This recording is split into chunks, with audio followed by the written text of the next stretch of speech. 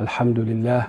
Wa bihi nasta'in wa nusalli wa nusallim ala rasulihil karim sayyidina Muhammad wa ala alihi wa sahbihi ajma'in. Amma ba' Tuan-tuan dan puan-puan, saudara dan saudari sekalian, Alhamdulillah di tengah hari yang uh, berbahagia ini kita sempat bersama-sama dalam tazkirah Jumaat kali yang ke-12 Uh, pada tengah hari ini insya-Allah kita cuba uh, melihat kekuatan dan juga um, the power uh, melakukan kebaikan uh, dalam kehidupan kita. Saya namakan ihsan sebagai graviti kehidupan kerana ihsan itu merupakan satu uh, sumber kuasa yang boleh memberikan kita uh, banyak peluang-peluang peningkatan diri, peningkatan masyarakat dan peningkatan kualiti uh, kenegaraan sekalipun. Kerana ihsan ataupun melakukan kebaikan itu adalah satu perkara yang Allah sebut dalam Al-Quran dan dalam banyak sunnah Nabi Muhammad sallallahu alaihi wasallam. Melakukan kebaikan ada dua matlamat ataupun objektif. Yang pertamanya ia boleh menebus ataupun uh, menghapus ataupun mengangkat dosa-dosa yang kita lakukan kepada Allah Subhanahu Wa Taala dan juga kepada sesama manusia. Kalau even kalau kita tidak boleh uh, mendapat restu, mendapat kemaafannya disebabkan keadaan-keadaan tertentu, insya-Allah dengan banyak melakukan kebaikan kepada manusia, kepada alam sekitar, ia boleh mengangkat dengan izin Allah Subhanahu Wa Taala menghapuskan dosa kita kepada Allah dan juga kepada sesama manusia. Allah Subhanahu wa taala berfirman, "Innal hasanati yuzhibna sayyi'at." Sesungguhnya kebaikan-kebaikan yang kita lakukan itu boleh menghilangkan, menghapuskan, mengangkat dosa-dosa kejahatan yang kita lakukan. Kalau kita banyak melakukan taksir kepada Allah, tidak semayang di masa muda kita, semayang pun mungkin ada banyak kekurangan, uh, ibadah kita tak teratur, tak tersusun, dan banyak melakukan dosa kepada manusia mengumpat mengambil harta orang yang tidak boleh kita cari dekat mana tuan punya barang tersebut. Melakukan uh, rasuah dan kita sudah bertaubat melakukan banyak perkara yang agak sukar untuk menembus dosa dengan cara yang betul dengan cara yang tepat sebab orang dah dah mati dan tidak uh, susah untuk melakukan satu uh, redemption. Maka kata para ulama berdasarkan ayat ini lakulah segala bentuk kebaikan kepada manusia. Mudah-mudahan Allah Subhanahu wa taala akan mengampunkan dosa-dosa dalam perkara-perkara yang lain. Itulah satu formula yang cukup hebat dalam Al-Quranul Karim iaitu innal hasanati yuzhibna sayyiat. Sesungguhnya ataupun pastinya kebaikan-kebaikan itu akan mengangkat uh, kejahatan-kejahatan yang kita telah lakukan sendiri. Malah dia juga boleh mengangkat uh, dosa-dosa ataupun boleh memberikan uh, pahala kepada orang lain. Bukan diri sendiri kepada ibu bapa pada kaum keluarga kepada rakan-rakan. Yang mana kita melakukan kebaikan kita niatkan kita sedekahkan uh, pahala uh, amalan tersebut kepada orang-orang ketiga dalam masyarakat. Uh, minggu yang lepas saya berada di uh, Madinah dan saya sempat berada dalam satu majlis hadis iaitu majlis bacaan hadis oleh seorang syekh yang paling ulung di zaman ini iaitu Syekh uh, Al-Azami di Masjid Madinah. Dan alhamdulillah Allah berikan saya kesempatan untuk duduk sekejap dan mendengar ilmu beliau dan dalam sesi tersebut saya uh, mendengar sendiri hadis iaitu seorang wanita yang datang jumpa Nabi Muhammad sallallahu alaihi wasallam dalam sahih Muslim di mana wanita itu bertanya adakah boleh saya bersedekah kepada ibu saya sudah mati dan pahalanya akan sampai kepada ibu saya? Maka dijawab insya-Allah itulah yang patut dibuat untuk uh, uh, kebaikan untuk uh, kebaikan orang yang telah mati orang yang ketiga dalam kehidupan kita itu satu uh, hadis yang sahih yang memberikan kita ruang yang banyak untuk melakukan kebaikan untuk diri kita ataupun untuk orang-orang yang kita sayang uh, di sekitar kita ibu ayah keluarga kita yang terdekat yang sudah meninggal ataupun orang-orang yang kita sayang dalam kehidupan kita. Itu yang pertama iaitu kebaikan boleh menghilangkan dan menghapuskan kejahatan-kejahatan yang lepas sama ada kepada Allah ataupun kepada semua manusia atau untuk diri sendiri ataupun untuk orang-orang lain orang yang ketiga. Bagi saya kebaikan yang disebut dalam Al-Quran ini juga adalah satu graviti kehidupan. Kerana kita tidak boleh menjadi lebih baik, kita kena bersihkan diri kita terlebih dahulu, baru kita cantikkan diri kita. Nak bersihkan diri kena bertaubat dan di antara perkara yang bertaubat itu adalah melakukan perkara-perkara yang baik yang kita sebut tadi untuk penebusan dosa-dosa kita.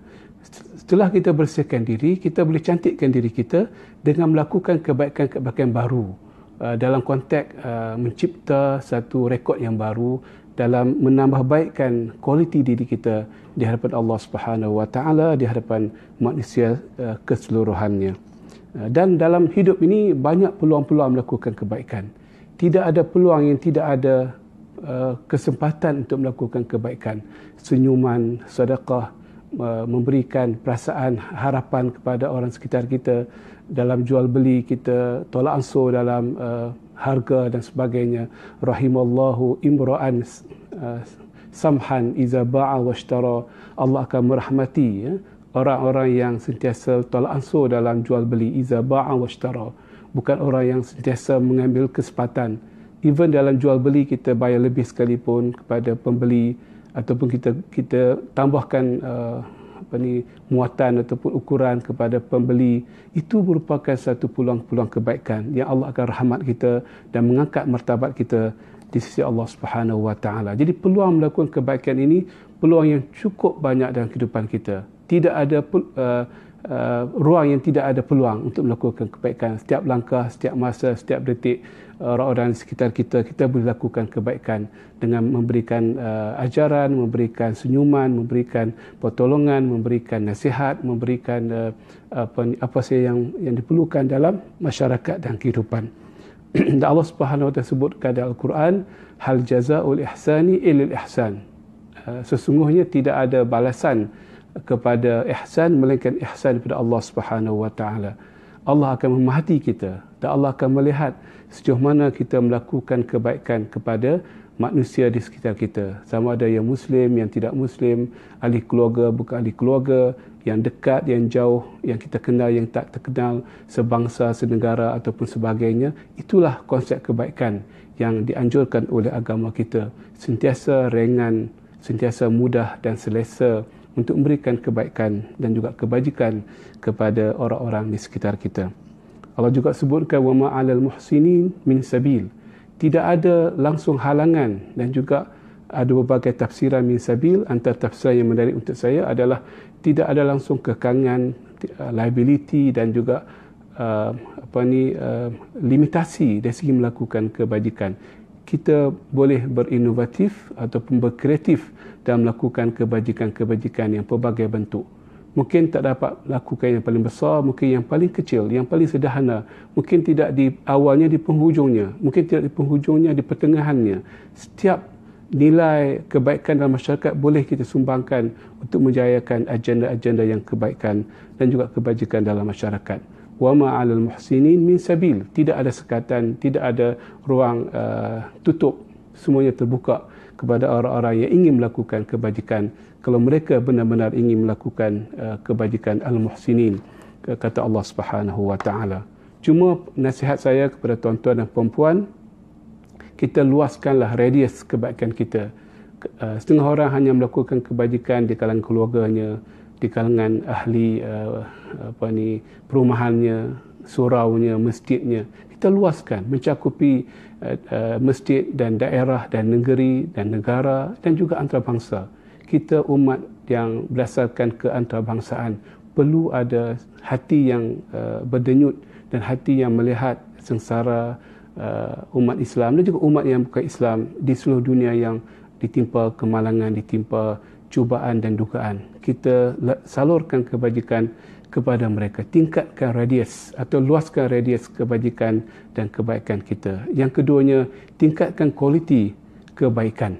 Iaitu uh, daripada kualiti yang rendah, kualiti yang tidak bermutu pada kualiti yang lebih bermutu, yang ada impak, yang ada kesannya dalam masyarakat. Tidak cukup untuk melakukan kebaikan, lakulah kebaikan yang ada impaknya kepada masyarakat yang memberikan kesan yang baik kepada orang yang mendapat kebajikan dan kebaikan kita. Yang ketiganya, jangan uh, susuli kebaikan dan kebajikan dengan perkara yang tidak baik. Allah sebut banyak kali jangan ungkit apa yang kita buat. Jangan kita apa ni uh, uh, uh, uh, lakukan perkara yang tidak uh, uh, senang yang menyakiti orang yang kita buat baik pada mereka. Uh, azza wal man tidak boleh ada azza dan juga al man iaitu kita imtinan kita selalu ungkit-ungkit dengan apa yang kita lakukan. Itulah tiga perkara yang saya uh, ingin berkongsi nasihat dengan tuan-tuan dan puan-puan luaskan radius kebajikan dan kebaikan uh, tingkatkan kualiti kebaikan dan kebajikan dan jangan susuli kebajikan dengan perkara-perkara yang merupakan antidot yang boleh uh, mengurangkan kesannya dan boleh menghancurkan uh, kebaikan yang kita lakukan dengan ungkitan dengan uh, kita sebut-sebut dan juga kita melakukan uh, benda yang tidak baik pada orang yang menerima kebaikan kita.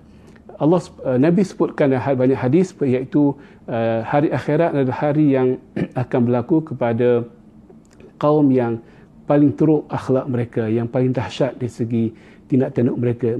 Tidak langsung kebaikan dalam masyarakat. Itulah hari di mana uh, hari kiamat akan berlaku dan di situlah banyak perkara-perkara yang jahat dilakukan.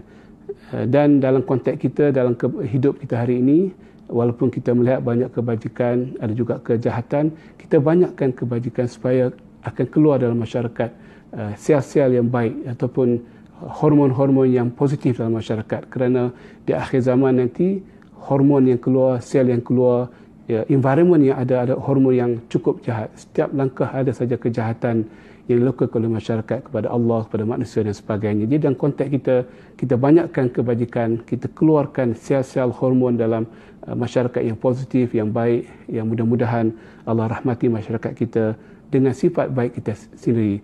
Uh, wallahu alam, mudah-mudahan uh, tuan-tuan dan puan-puan, saudara dan saudari akan menjadi lebih kreatif, inovatif dan sentiasa ringan dan mudah memberikan kebaikan dan kebajikan kepada sekalian dalam masyarakat. Wallahu a'lam. Aqulu qawli hadha wa astaghfirullah li wa lakum wa tubu ila Allah fataibu min zambi kama la zambalah.